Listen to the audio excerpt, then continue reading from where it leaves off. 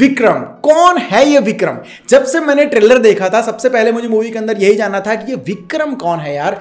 और जब मूवी देखते देखते पता चला कि इसका नाम है विक्रम, तब मैं समझ गया था कि ये कहानी और ये मूवी बहुत ही लंबी रेस के खिलाड़ी है। Credit goes to Lokesh Kanagaraj mind blowing writing हाँ तो एक जंगल था, उसमें एक शेर रहता था। ऐसी कहानियाँ सुनी है ना बचपन से, मज़ा आता है। क्योंकि उसमें थ्रिल होता है सस्पेंस होता है, एक बहुत बड़ी सीख जुड़ी हुई होती है कहानी से।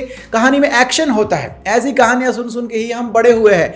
तो ये समझ लो कि जंगल की ऐसी ही एक कहानी आपके सामने है, जिसका नाम है विक्रम। लेकिन इस कहानी में शेर कौन है, ये डिसाइड करते करते शायद मूवी पूरी हो जाएगी और शायद मूवी के आखिरी सीन में भी आपका ओपिनियन चेंज हो जाए कि, ओ तेरी, ये है शेर। यही इस कहानी की ब्यूटी है। एक बहुत बड़ी जंग छिड़ी हुई है। आमने सामने खूंखार खिलाड़ी है। चारों तरफ़ मार धाड़ चल रही है। सबके मकसद अलग अलग है, लेकिन सबके मकसद एक कड़ी से जुड़े हुए हैं। वो कड़ी कौन सी है, ये आप मूवी में देखना। इस बात को शॉर्ट में कहूँ तो ट्रेलर देखने के बाद आपकी जितनी भी एक्सपेक्टेशन होगी इस मूवी से मूवी के अंदर उससे ऊपर कंटेंट मिलेगा, उसकी गारंटी है। कमल हसन सर विजय सेतुपति और फहद फाजिल, ये तीनों अपने परफॉर्मेंस से कहानी को इतना स्ट्रांग बना देते हैं कि पूरी मूवी के अंदर आपके दिमाग में एक ही सवाल घूमेगा, अब आगे क्या होगा? फहद फाजिल, इस बंदे की आँखें जो बोलती है ना अगर ये बंदा कोई डायलॉग ना बोले, तब भी आप उनको फील कर पाओगे। विजय सेतुपति का एटीट्यूड और स्टाइल और उनका लेने के बाद का जो अवतार है,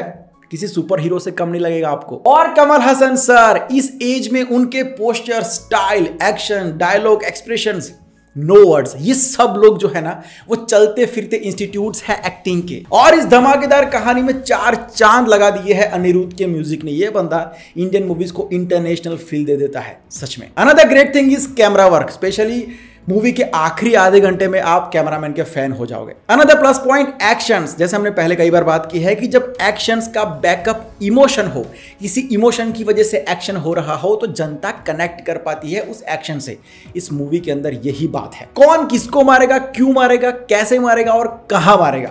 ये चार सवाल और उनके जवाब ही विक्रम मूवी का मेन प्लॉट है। फ़र्स्ट आप में ध्यान से मूवी देखना, पूरी मूवी का स्क्रीन पे बहुत फास्ट है। कहानी ऐसे आगे बढ़ती है। अगर यहाँ पर ध्यान नहीं दोगे, एक भी कड़ी अगर आपने मिस की तो लास्ट में समझ में नहीं आएगा कि कौन किसको मार रहा है, क्यों मार रहा है। बे कुल मिला के पूरा पैसा वसूल मूवी है, और भी बहुत सारी बातें हैं, बहुत ही बड़ी बड़ी सरप्राइजेज है, लेकिन मैं रिव्यू में नहीं कहूँगा हमेशा की तरह, ताकि आपका मज़ा खराब ना हो, लेकिन क्लाइमैक्स के अंदर आप समझ जाओगे कि मैं कौन सी बात की बात कर रहा था। तो ये था मेरा ओपिनियन अगर आपने भी मूवी देख लिया तो कमेंट करके बताना कि आपको कैसे लगी। अगर आपको ये वीडियो पसंद आया है तो एक लाइक कर देना। ऐसे वीडियोस के लिए चैनल को सब्सक्राइब कर दीजिए। मिलते हैं बहुत जल्द एक नई वीडियो के साथ, एक नए सब्जेक्ट के साथ। बाय टेकर एंड जय हिंद।